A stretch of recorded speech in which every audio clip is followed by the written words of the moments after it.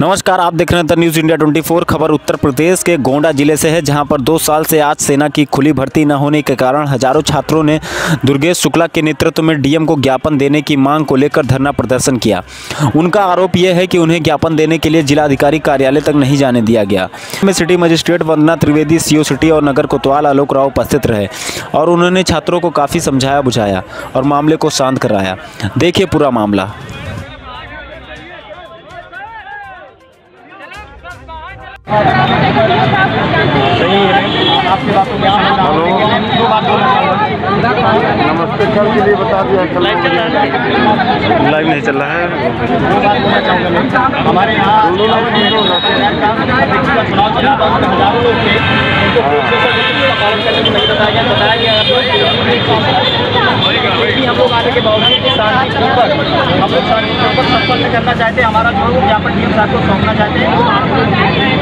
अंदर से लोग ही जाएँगे लेकिन कमल के ये लोग सौ सौ किलोमीटर से घूमने आए हैं।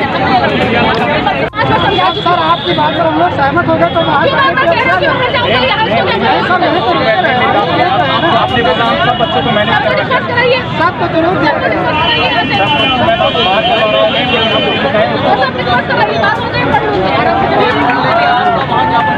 आपका ज्ञापन राज्यपाल तक जाएगा हमें इसका आश्वासन कब तक मिलेगा आपको ज्ञापन चला जाएगा जिसको आपने सहायता कर लिया आपको मिल जाएगी कॉपी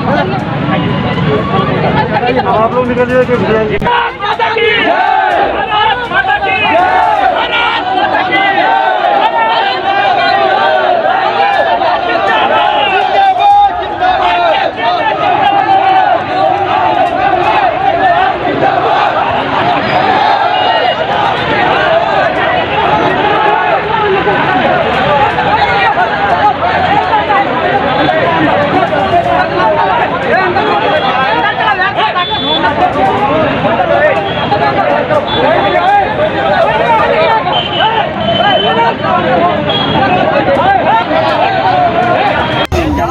किस चीज़ के लिए यहाँ पर विरोध करता हूँ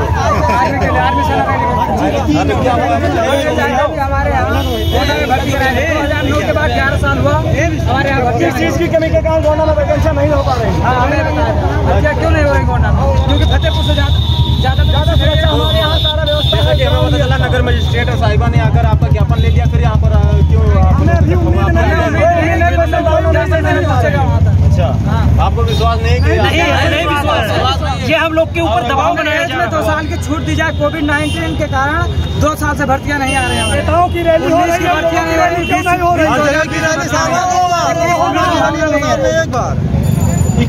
भैया क्या नाम है आपका? आज आपने यहाँ पे धरना दिया है। जी आज आपने यहाँ पे धरना दिया है। जी, कि आपका उद्देश्य क्या है? सर मेरा उद्देश्य ये है कि दो साल से हम लोग की आर्मी भर्ती नहीं आई है। जी। और हम लोग का जिडारो लगता है लखनऊ।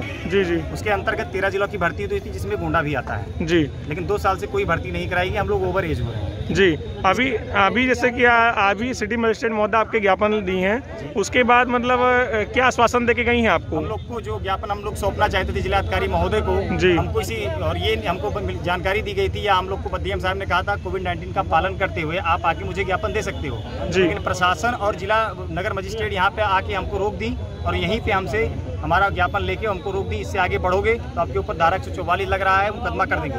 इस वजह से बच्चे डर के कहीं नहीं निकले। और यहाँ के कोतवाल सर ने भी यही बताया कि आप लोग ये ज़बरदस्ती करते हो रोड पे निकलते हो या डीएम साहब के वहाँ जाने की कोशिश करते हो तो मुकदमा लिख देंगे कैरियर बर्बाद हो जाएगा कहीं के नहीं रह जाओगे। हमारे बच्चे आपस में डर के कोई कहीं नहीं गया रुक गया और हमको इतना ही आश्वासन दिया गया कि आप जो लिख के मुझे दियो जहाँ पहुँचाना है मैं पहुँचा दूँ। क्या मांगे हैं आपकी? मेरी मांगे प्रथम एक दो साल से भर्ती नहीं आई है। दूसरी है 2009 में गोंडा में भर्ती आई थी तब से आज तक गोंडा में भर्ती नहीं आई। जी। क्या फतेहपुर ग्राउंड कानपुर के आगे पड़ता है वहाँ पे भर्ती हो सकती है और हमारे गोंडा ज़िले में नहीं हो सकती है। 2009 में गोंडा में भर्ती आई थी उससे कहीं ज़्यादा गोंडा आज हमारा विकसित है लेकिन फिर भी गोंडा ज़िले में भर्ती नहीं हो रही। इसका कारण क्या है सर?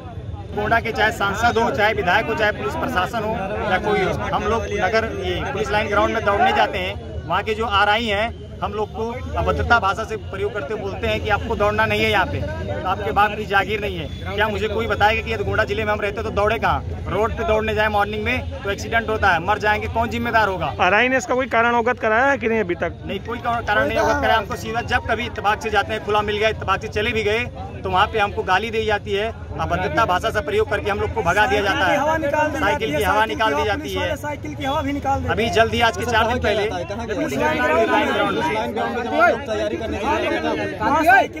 वहाँ पे वहाँ के जो आ रही है आज के चार दिन पहले आज के चार दिन पहले हम लोग गए थे। वहाँ पे आ रही ने हम लोग खाली बैठे हुए थे। उस समय कोई ट्रेनिंग वगैरह नहीं चल रही थी। उन्होंने बोला आप लोग कैसे आए? हम लोग बोले सर दौड़ने आए। कहीं यहाँ से उठ के चले तो इतना जूता मार दूँगा। दोबारा कदम नहीं रख पाओगे पुलिस लाइन ग्राउंड में। अब कोई डीएम सर से हम लोग जाते हैं कोई चीज़ आश्वासन लेने लिए तो कोई हमसे मिलता नहीं है। सांसद हो गए विधायक हो गए कोई हमसे मिलता नहीं है। इसलिए हमको कोई क्या बताएगा ये कि हम लोग को भर्ती कैसे देखने को मिलेगी?